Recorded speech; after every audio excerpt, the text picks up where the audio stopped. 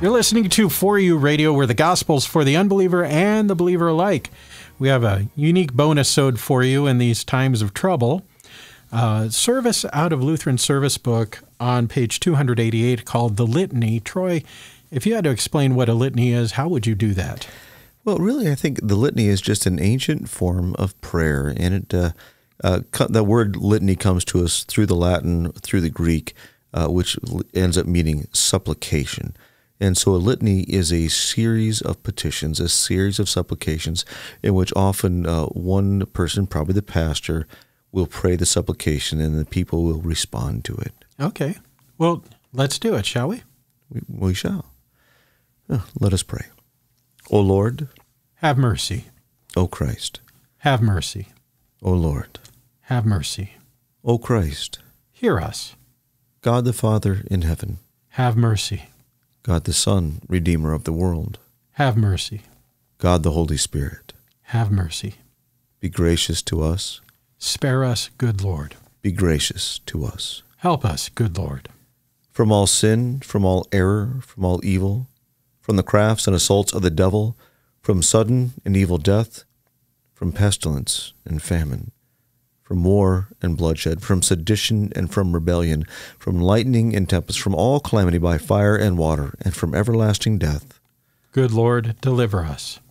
By the mystery of your holy incarnation, by your holy nativity, by your baptism, fasting, and temptation, by your agony and bloody sweat, by your cross and passion, by your precious death and burial, by your glorious resurrection and ascension, and by the coming of the Holy Spirit, the Comforter, Help us, good Lord.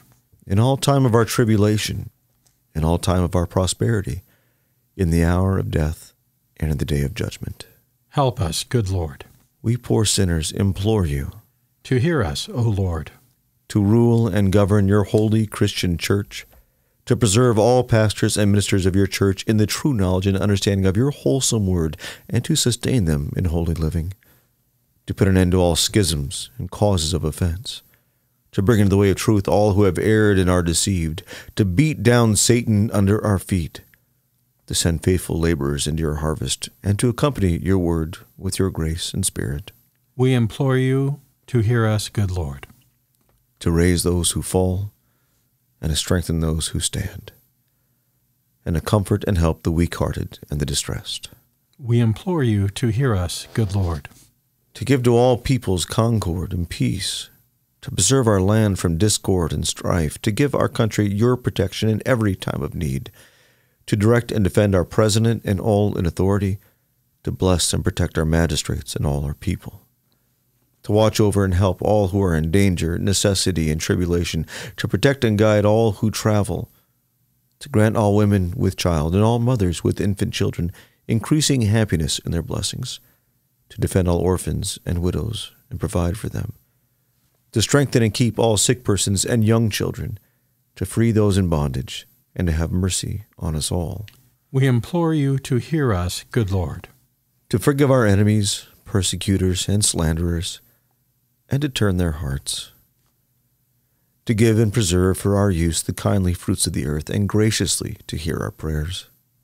We implore you to hear us, good Lord. Lord Jesus Christ, Son of God. We implore you to hear us. Christ, the Lamb of God, who takes away the sin of the world. Have mercy. Christ, the Lamb of God, who takes away the sin of the world. Have mercy. Christ, the Lamb of God, who takes away the sin of the world. Grant us your peace. O Christ. Hear us. O Lord. Have mercy. O Christ. Have mercy. O Lord. Have mercy. Amen. Amen. A reading from the book To Live with Christ, Daily Devotions by Bo Giertz. Wednesday after the fourth Sunday in Lent, The Passion of Our Lord Jesus Christ, Book 1, Chapter 1. Now the feast of unleavened bread drew near, which is called the Passover. Luke 22 1. The long journey to Jerusalem had ended. Jesus was resting with his friends in Bethany, near the top of the Mount of Olives. On the day we now call Palm Sunday, he entered the city amidst celebrating crowds, but we'll come back to these events on Palm Sunday. On the Monday and Tuesday of the week, we call Holy Week, Jesus taught in the temple. In the evenings, he returned to Bethany, and early the next morning again walked down through the Kidron Valley and up to the temple. But the mood in Jerusalem changed over the course of the week. His adversaries decided he must die. They must have been disgusted over all the commotion around his triumphant entry and the attention he received. Yet they didn't dare lay a hand on him, not even when he drove the crowds out of the temple. That might have caused an uproar. Then the Romans might have gotten involved, and no one knew where it would all end. The country was occupied. The adversaries were forced to exercise caution. They didn't want to lose the little freedom they still had. On top of the political considerations came the religious considerations. The leaders of the people could not tolerate a prophet who questioned all the control they had created with their regulations and minutely detailed law. Time and time again, they argued with Jesus in the temple in an attempt to expose him as a heretic. They wanted him to make a fool of himself in front of everyone. Each time it backfired. These conversations and events are given a lot of attention during Pentecost, so we'll pass on them for now. Instead, we'll look at Wednesday and Thursday of Holy Week. So much happens during these two days that we have to begin studying them now, long before Easter, so we can have time with the most important events. The Passover was near. The city was full of pilgrims. Pontius Pilate had come from his residence on the coast and the Roman garrison was reinforced. Passover was a huge folk festival, kind of like a Jewish equivalent to our Christmas season.